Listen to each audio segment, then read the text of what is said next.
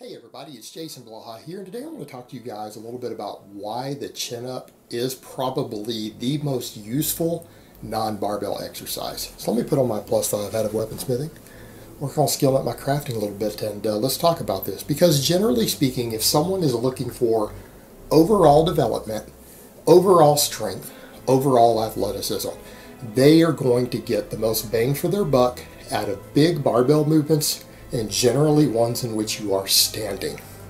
Meaning, a standing overhead press is more valuable than a seated one. Overall, if your goal is overall development, overall strength, overall performance, uh, it's generally understood that's the way these things work. So, usually, I advocate for people that they comprise the majority of their routine around things like deadlifts, uh, squats of different types. I don't care if it's a high bar squat, low bar squat, front squat, they all have their uses.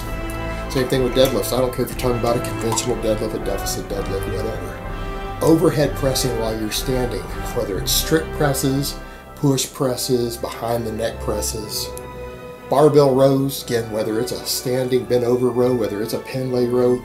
The point is exercises in which you are standing on your feet and using a big heavy barbell usually recruit the most muscle fibers through the body uh, they transfer over the best to various sports endeavors, to real world activities. Uh, they work the most muscle fibers possible for the least amount of sets done in the gym. They're your most efficient, most effective overall lifts.